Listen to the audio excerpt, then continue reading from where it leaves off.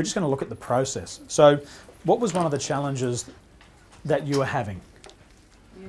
It was, the challenge was, um, I'm limited to the amount of income. Okay, so the income's a challenge. So, although this is a bit messy, I'll step you through and I'll show you how it is in the mind. Two million bits of information is coming towards Marcia every moment. It's coming through the conscious mind down into the unconscious. And then she's filtering it through her past. Now, there was a limiting decision and a belief that when she lived in Brazil, that black people in Brazil can't succeed. Now, whether she chose that consciously or unconsciously is something separate. All of us, when we were born, congratulations, you're the semen that got the egg. You're winning already. 15,000 genomes from your father, 15,000 genomes from your mother. And then they come together and they form the embryo. That embryo contains all the memory of your father and all the memory of your mother. So whether or not you chose this, it's now in your body. And it could be generationally. So here we're on the back foot to start with. So there's a limiting decision or a belief that black people in Brazil can't succeed. So here it's a decision and a belief. This is within her. Now, also, my family was average. So now there's an attitude, a belief, and decision that's coupled around being an average. You've seen these average families. We're up to fourth generation um, social security now in Australia. It's hard to break the mold because it's now in their nervous system. They're programmed. When you get your Mac, it's pre programmed until you put on there what you want. Here, a memory. I now have a memory of being bullied. So this is stored inside the body. The program is still operating. This is like a computer program. It's operating in the background. What happens when you have too many programs operating on your computer? Crashes. Here I have a positive memory. Athletics brought me a lot of success. I got a good job, I had a lot of success. And what happens is this then overrode that and said, This is your new programming. And this disappeared, correct? But then there was an event here of marriage and divorce. So there's always going to be a memory here and language. So now we have language coming in here. I'm divorced. I'm now divorced. I'm now divorced. Now, there can be a certain pleasure and pain at the same time. There was some pleasure where, after you got divorced, you said, This is my time to succeed. So you went out and you become a systems analysis, correct? This is all cancelled out. This is what we're left with. At the age of eight, my, my daughter kept asking for everything.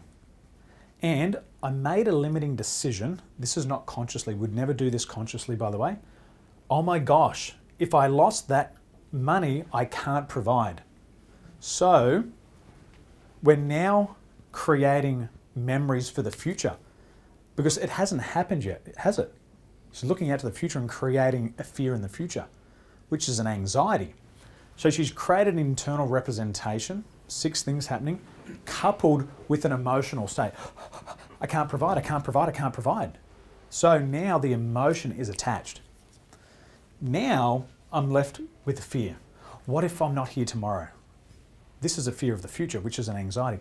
What if I'm not here tomorrow? So, to imagine what if I'm not here tomorrow, you have to create a picture in your mind of you not being here. The mind sees you not in the future anymore. There's nothing in the future. I was working with a couple recently, they were in a relationship, and he said, I can't see my partner in the future. The relationship kept going in like this I bought this house, I bought this car, but I don't see her in it. The relationship fell apart because, according to him, she didn't exist in his future, which led to a behavior of doing certain things, sabotaging behavior that would cause her to leave the relationship, not spending couple time together, based on what he thought was going to happen. It hadn't happened. Then the fear of not being here tomorrow equals I lost my job. I've moved from Brazil to Australia and I've brought my money here, but I've never again been a success. See the pattern of the mind? And now it's producing behaviors that I've never been a success again.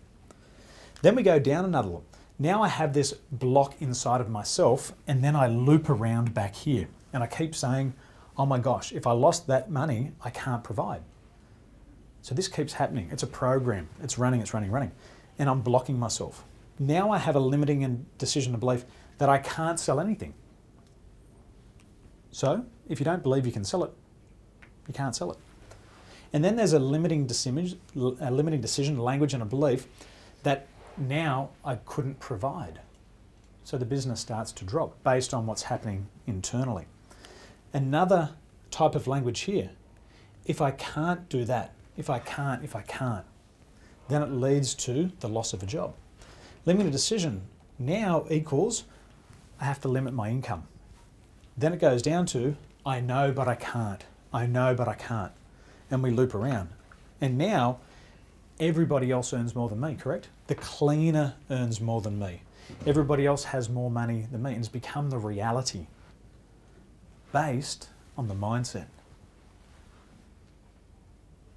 Because the rest of it we make up. And then the world becomes what we focus on most of the time. Fair to say, Marcia?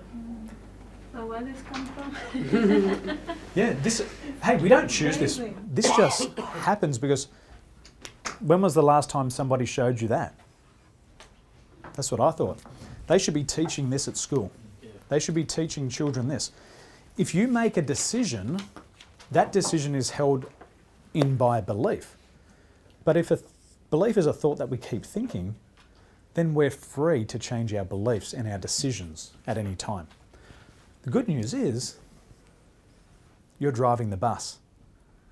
This is your mind, and you can do anything you want with it. Tony Robbins says, What does he say?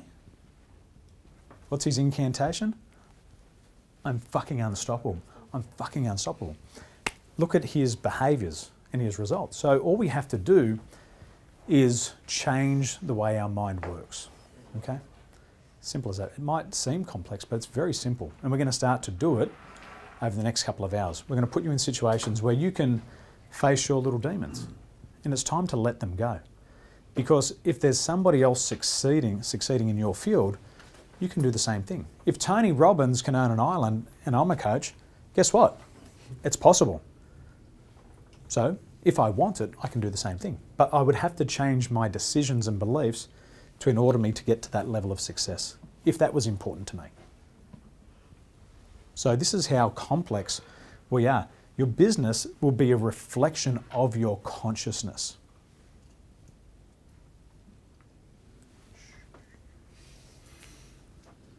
Interesting, isn't it? So, this is what happens in our mind. And the mind seems complex, but I'm going to give you strategies today to be able to change that, Marcia. Yeah.